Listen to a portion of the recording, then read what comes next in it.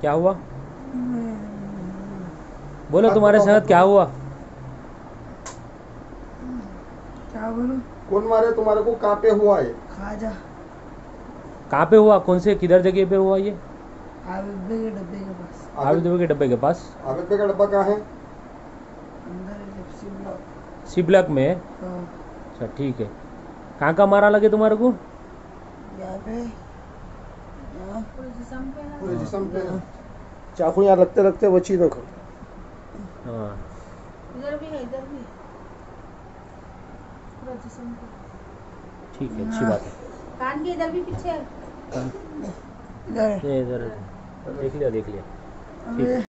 अलैक्म वरहमतुल्लाह परसों रात में बाबा नगर में मेरे बेटे के ऊपर अहमद बिन हसन जाबरी पर अटैक हुआ जो बच्चा मेरा 16 साल का है। मेरा नाम हसन बिन अली जाबरी है। मैं गाजी मिलत कॉलोनी में रहता हूँ। रिसेंटली दो दिन पहले मैं घर शिफ्ट कर रहा था यहाँ से। उस असना में मेरा बच्चा दावत में जाके आता हूँ, बोला, उसके ऊपर चोर ख्वाजा, जो छोटा ख्वाजा से मशहूर है कहते उन्हें नशे की हालत में ड्रग लिया हुआ था, गांजा पिया हुआ था, उन्हें अटैक कर दिया। मेरा बच्चा 16 साल का है। मरते मरते मेरा बच्चा बच्चा उसके ऊपर बहुत अटर टू मटर का केस बुक कराया कंचनबाग पीएस में। बुक कराने के बाद में सर्कल साहब बोले कि हम अरेस्ट कर लिए। और एस आई साहब बोले कि अरेस्ट कर लेते उसको अरेस्ट कर लिए।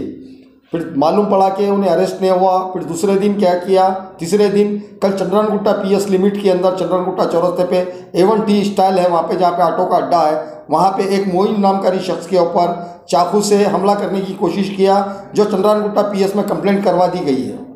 फिर कंचनबाग यहाँ से निकलकर फिर सी ब्लॉक बाबा नगर में गया, उन्हें एक बबोरची जो मासूम बच्चों को चॉकलेट दिलाने निकला था, उस पर अटैक किया जो उसके घर के बाजू में रहता था। उसके फ़ोन वगैरह खींचने की कोशिश किया।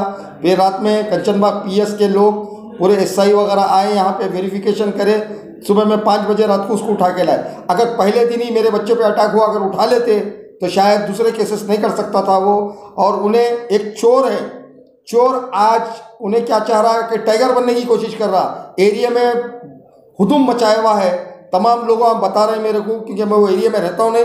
मेरे लोग बताए गए, वहाँ पे पूरे लोग जितने भी है, बस्ती के लोग, कि पूरी बस्ती को तंग करके रखा हुआ है। ऐसे लोगों को पीटीआई डबल डाल के भेजना।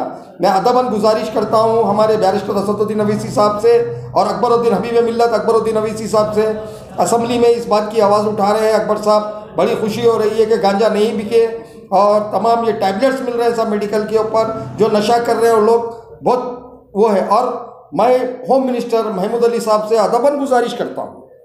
ख़ास तौर पे गुजारिश करता हूँ कि महमूद अली साहब, इस इस चीज़ पे ख़ास तौर पे तवज्जो दीजिए और हमारे सीपी साहब कमिश्नर साहब, जो बाहितीन अंजलि कुमार यादव साहब जो अच्छा काम कर रहे हैं सिटी के अंदर सिटी को पीसफुल लेके चल रहे हैं साहब, थोड़ा सा आपसे भी गुजारिश है कि ये गांजा मिल रहा कहाँ, ये नशा मिल रहा कहाँ, गोलियाँ मिल रहे कहाँ ड्रग मिल रहा कहाँ वो लोग को पकड़िए, उनको जेल में डालिए, उनकी बेल मत होने दीजिए, उन लोगों को कड़क, कड़ी सी कड़ी सजा दीजिए।